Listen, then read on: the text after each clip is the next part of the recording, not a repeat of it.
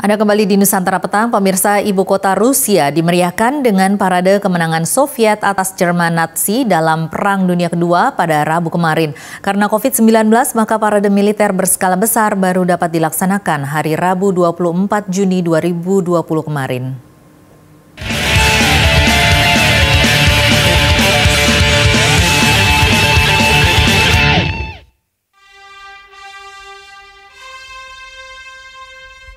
Presiden Vladimir Putin meninjau parade militer lapangan merah yang spektakuler. Seorang kritikus layar patriotik mengatakan, parade militer berskala besar ini dirancang oleh untuk menaikkan tingkat keterpilihan Putin sehingga dapat memenangkan pemilihan suara mendatang.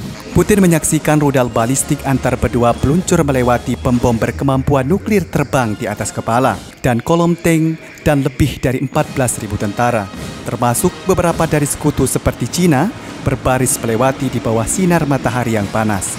Parade untuk menandai peringatan 75 tahun kemenangan Perang Dunia Kedua Uni Soviet atas Nazi ditunda sejak 9 Mei karena wabah baru coronavirus. Tetapi para kritikus mengatakan masih tidak bertanggung jawab untuk melanjutkannya.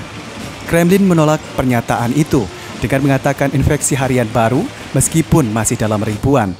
Semakin berkurang terutama di ibu kota Rusia, pusat wabah asli, dan bahwa semua tindakan pencegahan diambil. Relawan memberikan topeng dan sarung tangan kepada mereka yang menonton di lapangan merah dan memerintahkan mereka untuk duduk dua kursi terpisah.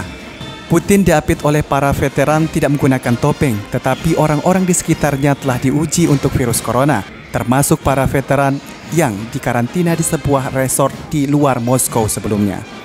Ribuan orang memadati jalan-jalan Moskow untuk menyaksikan tank-tank menggelinding di kota itu pada hari libur nasional.